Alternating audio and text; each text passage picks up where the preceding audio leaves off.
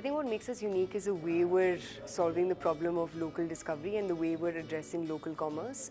I think what's made us successful so far is we've really tapped into how to speak with millennials and how to get them to go out and spend their money on, you know, uh, experiences or stores or you know uh, food and beverage outlets. So I think for us, uh, our secret sauce has been in that we have a clear understanding of what our audience wants uh, from their local life, and we've given it to them through an, a very interactive platform that helps uh, them serve that need.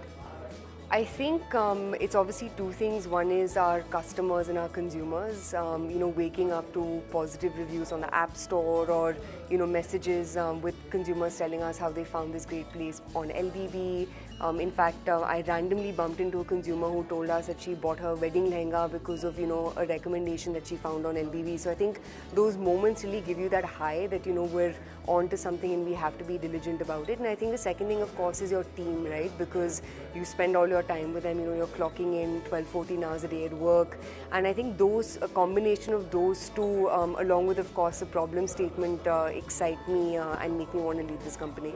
I think 100% because I think this is the first time where um, choice is everywhere. Um, you know, unlike our parents' generation where their idea of what a career was was fairly cemented. I think um, you know, right now the sky is blue, maybe not in Delhi um, because of our pollution issues, but uh, you know, otherwise the sky really has, there, there is no limit.